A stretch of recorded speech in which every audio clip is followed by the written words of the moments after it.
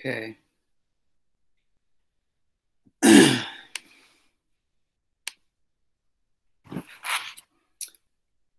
this is where we left off. We're talking about factors that contribute to resistance. And they were smaller lumen, more resistance, more opposition of blood flow. So, in other words, what's slowing blood down? What's decreasing the pressure? What's slowing down its speed? The the opening, you know, the size of the lumen, the how many blood vessels you have. What I put, these were just examples. And then the thickness, how thick your blood is.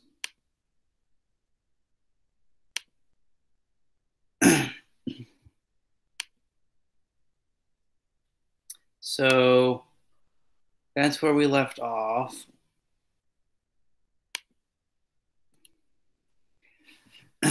So since the pressure, since the resistance increases a lot when you go from an artery to a vein, you have a challenge. As I was saying last class, you have the challenge of delivering blood up your legs back to your heart. So your your veins in your legs therefore have valves that kind of keep this blood moving in one direction. So, um, yeah, so there's the valves. You have a couple, of, your body has a couple of mechanisms of helping your legs to get the body, to get the blood through the veins. One of them is in your calf muscles. When you take a step, the muscle, your calf muscles squeeze the the vein, and that pushes the blood up past the valve. And then when you lift your foot to take the next step, that blood, if it tries to flow back, and it does often, the valve will stop it. And then when you take the next step, you're squeezing that that vein again. So every time you're stepping, you're squeezing the vein and it's helping to push the blood up. And it won't go backwards because of the valves. So that's one mechanism. The other um, yeah, so the other one is called the respiratory. This is called the skeletal muscle pump. This one's the respiratory pump. So here is your diaphragm, how it normally is, like relaxed, right? So the diaphragm's a muscle, it contracts, and when it contracts, the diaphragm flattens out. So the diaphragm's right underneath your lungs. It separates the thoracic cavity from the abdominal cavity. And the the photo on the right side shows the diaphragm being relaxed. The left side shows it being contracted. When it contracts, it pushes on all the stuff in your abdomen. So it's pushing on, you know, the the stomach and the intestine, liver, all that. It's kind of compressing it. That's pushing on the inferior vena cava and that's propelling the blood up because blood wants to go you know from a from a higher pressure to a lower pressure so diaphragm flattens down that's squeezing everything in your guts i'm over exaggerating when i say it but you know it's squeezing everything in your guts pushing up against your inferior vena cava and that is pushing the blood up towards your heart so you have a uh, respiratory pump and you have a skeletal muscle pump. Both of those mechanisms help to get blood from your lower extremities up toward your heart. Because the pressure goes from like 100 millimeters of mercury in the arteries to like 10 or lower millimeters of mercury in the veins. That vein is fine, kind of, you know, it's okay if it's in your arms or your neck your legs, it's a bit more of a problem.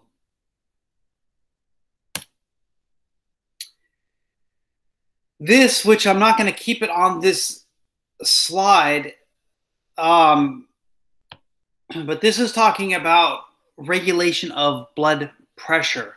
We talked about regulation of heart rate in the last chapter. This is similar, but it's regulation of blood pressure. But you notice some similarities. You notice these receptors, proprioceptors and baroreceptors and chemoreceptors. They're largely located, by the way, in your carotid arteries in your aorta. So right around here, your aorta's here, and then your carotids tap off of it. They're around there. They're sensing, like we talked about last time, limb movement and uh, pressure and chemicals, um, in particular, like oxygen and carbon dioxide. They're communicating with your cardiovascular center which is your medulla. It's in your your brain medulla oblongata. It's in your brainstem, right? And then there's other nerves that go out. So parasympathetic, rest and digest. So that's going to be the opposite of fight or flight. So in this case, parasympathetic is slowing heart rate down. Or it could do the opposite. It could accelerate heart rate. Either way, this is going to come from the um, the vagus nerve is usually the so you, if you remember the you have uh 12 cranial nerves um you might have memorized them you're not, you're not going to really need all of them but one that does come back is the 10th cranial nerve the vagus nerve right that one continues past your shoulders right most of the the cranial nerves end in your head or neck your accessory nerve goes like into your shoulders but the vagus nerve continues down to your heart and um, even all the way down to your stomach. So it's the only one of your cranial nerves that continues, the 10th cranial nerve or, or vagus nerve. so that's going to increase heart rate. Increase heart rate is going to increase blood pressure. Or we can we can have vasoconstriction directly from the cardiovascular center.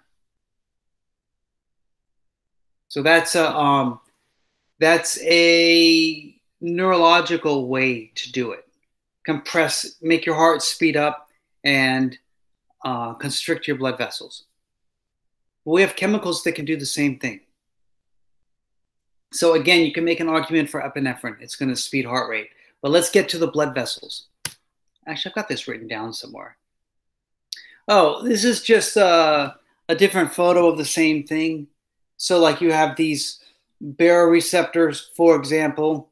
This is the ones in your carotid. This is the ones in your aorta, and they're going to send a message to your cardiovascular center. So that's in your brainstem. Then that is going to go to your blood vessels or your heart. Right? See, like they've got it here going to your your SA node and your AV node that's going to speed heart rate. Um, here, I'm imagining that these are eventually going to go to blood vessels. They're not showing it to you. By the way, the spinal cord, you should view this. Never mind. So, I've got this written down. Let me get to it. Um, this is talking about hormones. I have it on a different slide. Um, there we go. so, Go to the chemical side. Renin-angiotensin, that whole complex, right? That raises blood pressure. How exactly at the end of it all? Because aldosterone, renin-angiotensin, aldosterone, aldosterone is going to conserve sodium, and that's going to hold on to water. So that's that first bullet point. Don't forget, angiotensin 2 is a vasoconstrictor angiotensin 2 by itself is a vasoconstrictor. That's going to raise blood pressure. So if I were to do this a little bit different, I would put for the first bullet point aldosterone. The second bullet point, I would put angiotensin 2 because aldosterone is going to help you ultimately hold on to water because it holds on to sodium. Angiotensin 2 is going to be a vasoconstrictor. And then the next bullet point is epinephrine, norepinephrine. That's all about your heart. So that's going to, con- to increase your um, heart rate, and norepinephrine will con- increase your contractility. So the forcefulness of the contraction. The next one, ADH, antidiuretic hormone. It does the same thing, right? Antidiuretic hormone constricts your blood vessels. It's it's vasopressin, right? So it's a vaso vasoconstrictor, and it tells your kidneys to conserve water. So it's similar in conserving water. That's a similar function to um, aldosterone. In um, vasoconstriction, that's a similar function to angiotensin 2. ANP, if you remember, atrial natriuretic peptide is a, it does the opposite. It does the opposite of antidiuretic hormone. So you're going to, it'll slow heart rate. It's a vasodilator. It encourages your body to get rid of water. It does all the things that your body has set up to raise blood pressure. ANP is going to do the opposite.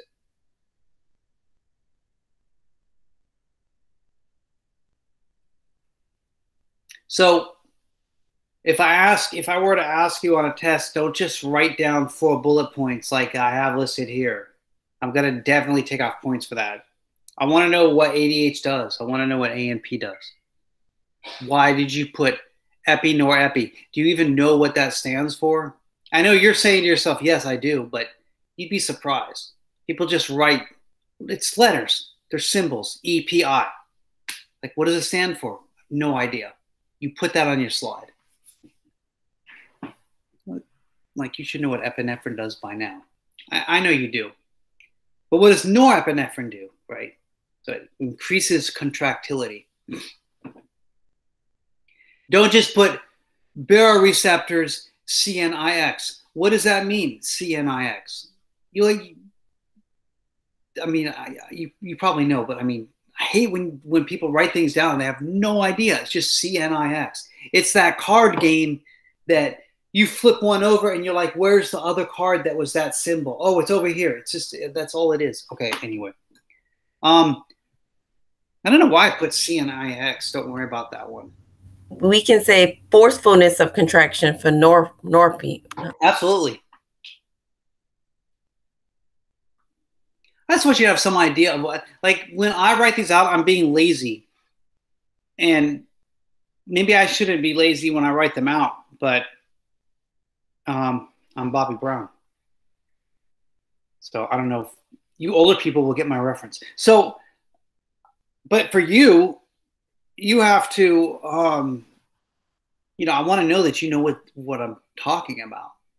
You know, what do the chemicals mean? And yeah, the receptor is fine that's where they are.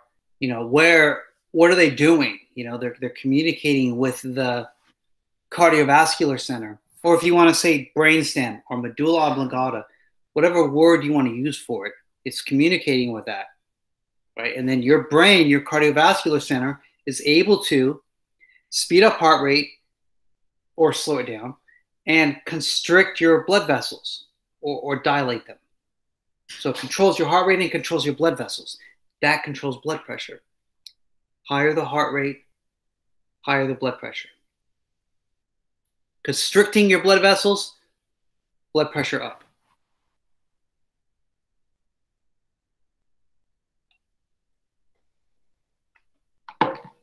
I'm going to come back to this. Well, I'm not going to come back to this slide, but I'm going to talk about something similar with the next slide. So that was that's kind of similar. It has some similarities with control of heart rate. So that should some of that should look familiar to you. Except that now we're adding in before you had epinephrine, norepinephrine, and um, there were some other things like some like calcium and stuff like that. But here I'm adding in oh, and ANP was there in control of heart rate. It also controls blood pressure, right? But ADH that's new and renin angiotensin aldosterone that's new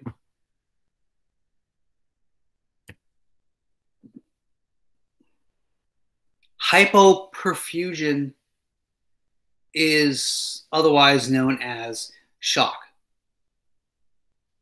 Hypo meaning under, perfusion talking about your cells getting oxygenated, so your cells are not getting oxygenated enough. That's what shock is. Shock is when your body cannot deliver enough oxygen to get to your tissues. That's what it technically is. Most of the time, but not all the time, but most of the time, it's going to be because of blood pressure. The reason you cannot get oxygen to different places in your body, different tissues, is because you have low blood pressure. So, why? Why you have low blood pressure? That tells you the different types of shock. The first is the most obvious one decreased blood volume. So, going like this, like I'm going to say something. Dehydration. That's going to cause decreased blood volume. You're dehydrated, low, uh, um, low blood, low water means low blood volume means low blood pressure, right? So extreme dehydration, and along with that, something called hyponatremia, meaning low sodium. So when you have low sodium in your body, that can actually cause you to be dehydrated, and um, that's that that could cause hypovolemic shock. So hypo under volemic volume, right? Low blood volume. Um, you know, other things, diuretics, too much diuretics, um, vomiting, diarrhea, stuff like uh, get, getting shot, bleeding out. That causes low blood volume. Don't know why I didn't mention that first. So, low blood volume. Second, you got a messed up heart. Your heart's the one that's pumping all of this around, right? So, if your heart's not pumping, blood's not moving, your pressure's down. Or if your heart is more typically, if your heart is pumping but not correctly, something's wrong with it, especially the um well, it doesn't matter whatever ventricle it is, either of them really. If they're not working like they should and and they're not pushing out blood, that's going to cause shock. So that's cardiogenic, meaning that it's getting generated with the heart. Your heart is what's causing it. The third one, obstructive.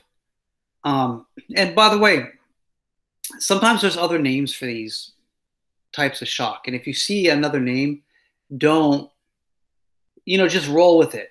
Like when you get into nursing or wherever, you might see instead of vascular, you might see, um, can't even think of the word right now. Um, um, brain neurogenic, right? Instead of vascular. I put vascular. Some people put neurogenic. They're they're both correct, right? So you might see different words in the future. It's the same idea, right? Let me go back to obstructive. Obstructive is something blocking your blood vessels. I put PE, that means pulmonary embolism. That's an example of obstructive. That's not the only obstructive. I was just giving you an example. Cardiogenic, I put MI, myocardial infarction, that's an example of cardiogenic, a heart attack. That's not the only cardiogenic, that's just an example. Pulmonary embolism is not the only obstructive, it's just an example. It's like a common, common example that you would see. So, um, vascular, um, too much dilation and I spelled it wrong. See, I told you guys I always spell this thing wrong. Not dilation, dilation. So inappropriate dilation. You're you're if you get stung by a bee, wherever you got stung, I would expect those blood vessels to dilate. Not every blood vessel in your body. That's an inappropriate reaction. If they all dilate, your blood pressure is going to plummet. That's a type of shock these aren't this is not all the types of shock there's there's um for example i didn't get septic shock right but these are kind of they can be grouped together they have similar uh, symptoms usually um, a blood pressure will be close together not like 40 apart like 120 over 80 they'll be like 20 apart and it'll be lower. So the 120 will be like 90, and then the 80 will be like, you know, 65 or something. You know, 85 over 65. That's maybe something, and then you would have a high, high, um, elevated heart rate because your body's trying to compensate. Right? Those would be like those would be like some signs of of shock. And so, what can your body do about it? Get blood pressure up. I don't even know. I don't even know if I made that a slide. I did. Honestly, the answer is the same as the slide where we talk about control of blood pressure. Just think about what does your body do to get blood pressure up. That's the answer to shock compensation. Those are compensatory mechanisms. You kick in the well, actually, the third bullet point is first. That's what your body does first, right? Because that's the quickest thing. Send a signal from your cardiovascular center down to your blood vessels to constrict. That's the first thing you're going to do. Don't get rid of any more water. Save it. Um, maybe don't sweat, depending on where you are right? You want to hold water and you want to constrict blood vessels. That's a first from your brain. That's the first compensatory um, mechanism. Then you're going to send some. You're going to follow it up with some hormones, right? Because your brain works quick, but you can't hold it as long. Hormones take a little bit longer to work, but you can hold it for longer. So you follow it up. You follow it up. I'm going to have to get this door. So I'm going to have to give you guys a break for a second. You follow it up with hormones, renin, angiotensin, angiotensin 2, ADH, not ANP, right? That's the opposite. All right, give me a second, please. You got it? You go and answer the Amazon man. They're doing some work out in my front yard. So they're telling me that they're leaving. Yeah, so let me put you guys on hold for a second. Sorry.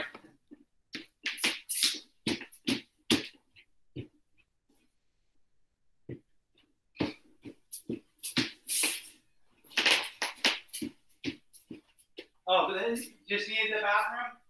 Okay. Are you good with everything else? Yeah. All right. Thanks.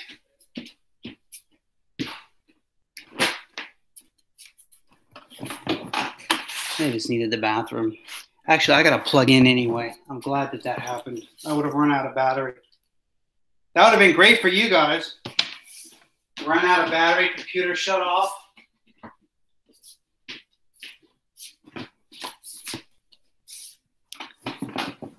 Whoever rang the doorbell messed you guys up because now I'm charging.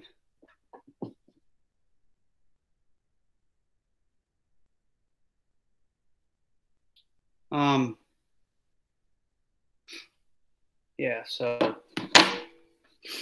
yeah, we just think about blood pressure. What's going to get up? What's going to get your blood pressure up? That's the answer for shock.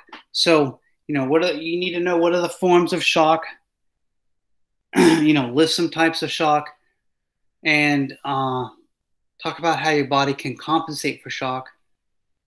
Um, we do. We compensate for shock um,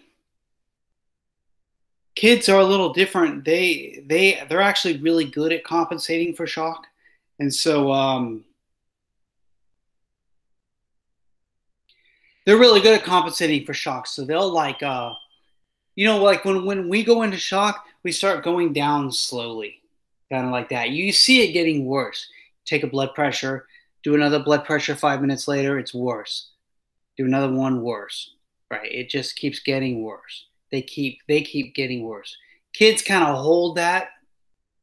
They're really good at compensating. They hold it, but then when they lose it, it they just plummet, right? They just drop. So that's why, like kids, you know, um, that's why you gotta be like more careful. There's no there's there's no signs, right? They're still walking around and stuff, and then they just can't compensate anymore. Um, all right, so Types of shock. How does our body compensate for shock?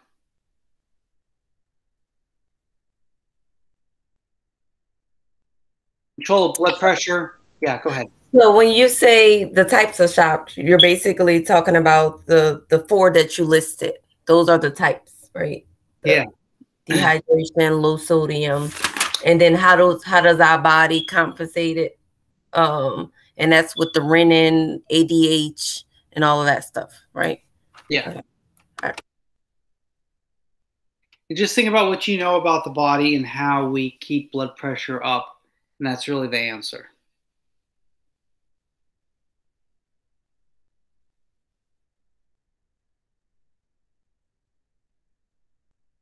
Resistance, what are the factors leading to resistance or factors causing resistance? Um, yeah.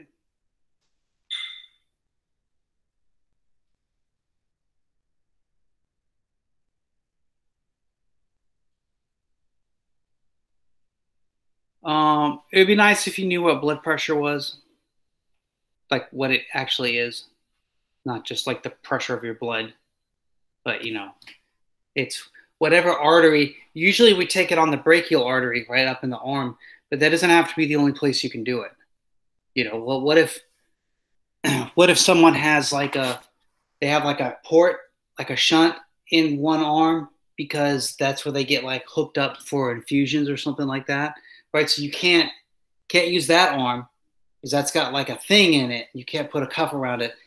The other arm they've got they've got like some IVs going in it. Can't take it on that arm. So you can come down here to the forearm. You can go to their leg even, right? So you can take blood pressures different places. Um, but usually we use the brachial artery, and so what's the pressure? What's the average pressure on that artery on the wall of the artery when the heart's contracting? And then your second number is what is it when the heart's relaxing? Or to be more particular, during ventricular contraction and ventricular relaxation. Or to just use the words during ventricular systole and ventricular diastole. I don't care about mean arterial pressure, even though I probably should, because I know that people use that. But whatever, you'll learn it. Yeah. What do you mean when you say what are the factors that's leading to resistance? Like What are the factors of resistance? oh, of resistance. Cause causing resistance. What slows down your blood? That's really what I'm saying. Okay. What slows down the blood? Oh, what slows down the blood? I mean, I'll probably I'll, prob- I'll be using the word resistance, but that's what I'm asking you. So smaller lumen, smaller blood. The the, the that's going to slow down the blood. What is lumen? Like the the whole like the lumen of this glass is like two inches. It's like the space. Oh, like the the, the space of it. So the skinnier, the small, the skinnier I make that, if it's more like a test tube, that's gonna go a lot slower. Okay. Okay, I get it. Then the, how many vessels? The more, the more vessels you got to go through, the more resistance that is. Okay. And then the thickness is the last one. Yeah. Okay.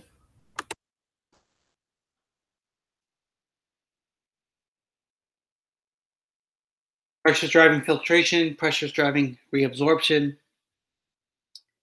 Remember, filtration is fluid leaving the capillary. Reabsorption is fluid going back into the capillary. So you've got this exchange between the capillary, the blood, and then the interstitial fluid. So I've got here two pressures driving filtration and one pressure driving reabsorption.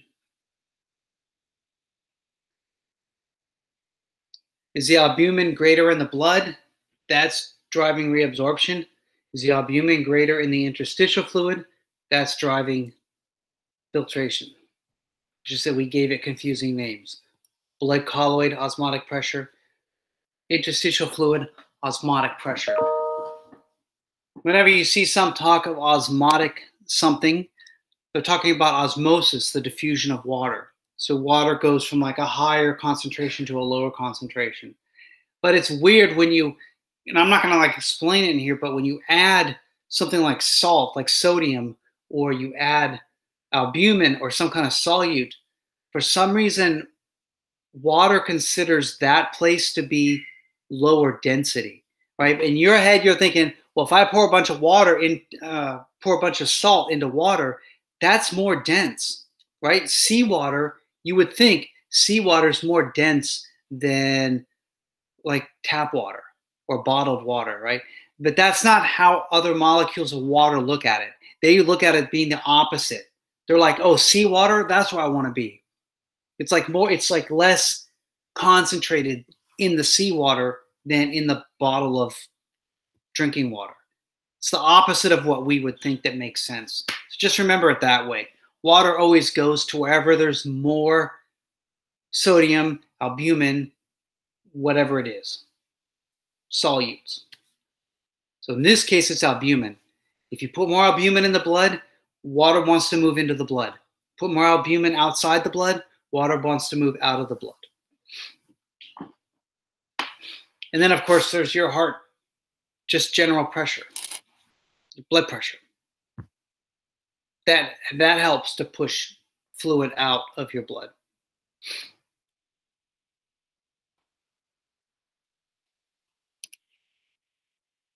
Three types of capillaries. Continuous, fenestrated, sinusoid. What's the difference between them? Continuous capillaries only have those intercellular clefts. When you get to fenestrated capillaries, those intercellular clefts are a little bit larger.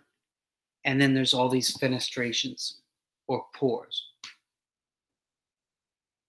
Sinusoid. With sinusoid, you take, if you want, you could take the same definition that you put for fenestrated and just use the words really big. That's essentially what it is. Really big fenestration, really big fenestrations, really big intercellular clefts.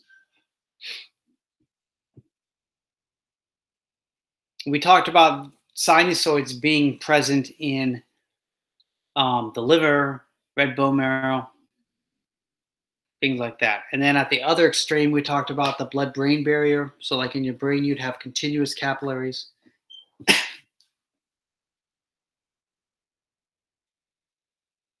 I might ask you about the three types of capillaries.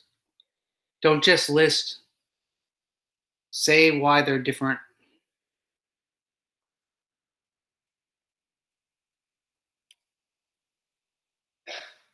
And a capillary, remember, a capillary is just made from epithelial cells. Or here we're calling them endothelial cells. It's end, endothelial cells covered with a basement membrane. That's all it is. That's all you're looking at. Capillaries are not very complicated. There's not a lot of thickness to their walls. There's no elastic, there's no muscle, just epithelial cells and a basement, mem basement membrane. They're very simple things. Chief types of arteries, conducting and distributing arteries. That would be a possible question. Kind of an easy one. Elastics found closer to the heart. Muscular further away from the heart. You cannot, when we talk about this notion of vasoconstriction, like to raise blood pressure, right? Can't do that with arteries that are right next to the heart. You can't, you cannot constrict those. You want to constrict blood vessels to get blood pressure up. You don't want to impede the ventricles. Can't, yeah, I already talked about that. So two types of arteries. I think that's probably it too. I'm not going to ask you. That's more of an anatomy. So we got from this chapter, which you're going to add to your heart chapter, we have one, two, three types of capillaries, three,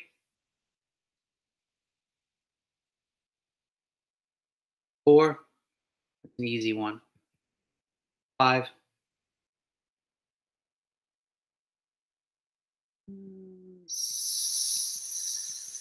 six,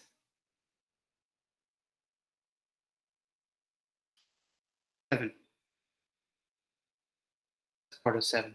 So seven questions.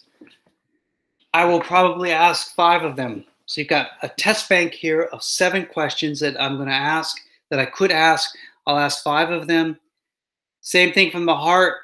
I'll ask probably five questions from the heart, five questions from the question on blood vessels. I mean, the chapter on blood vessels. You're thinking right now, are you going to ask the exact same questions on the test? Not all of them. I mean, yes, some of them. I, you know, I'm going to ask about card, uh, cardiac cycle. I keep talking about that, and I devoted like a few slides to it. So cardiac cycle is going to be on there.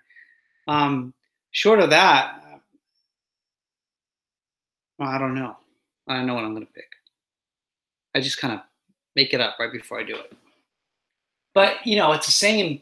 I have the same questions in my head. I mean, same every semester. It's the same questions. And I already told you what all the questions are for the heart, so it's like no surprise. You just probably have about 15 questions, which is a lot. I know I'm saying um, I make it. I always make it sound like it's not a big deal, and I'll probably pick 10 of those,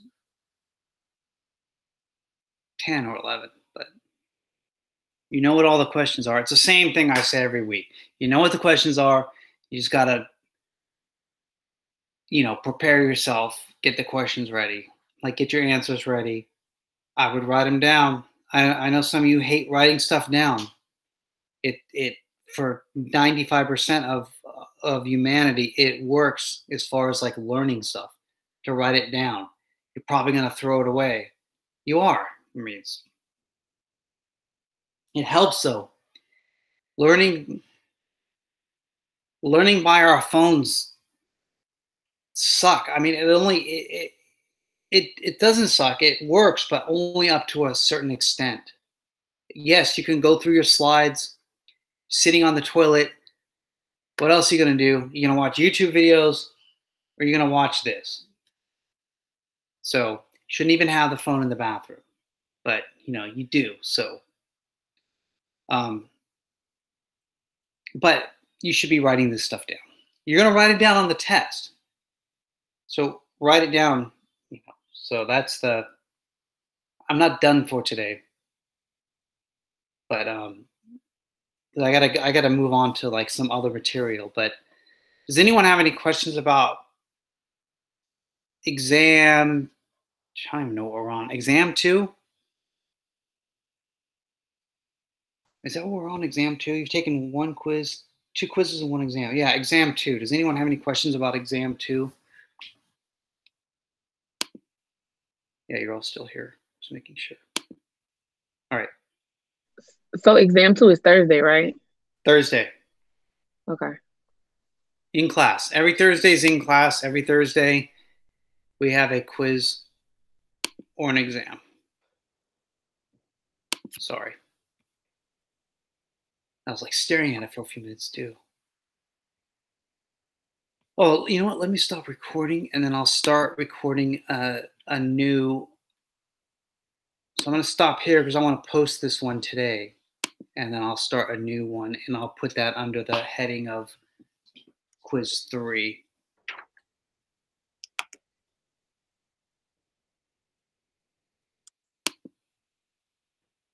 I did stop recording.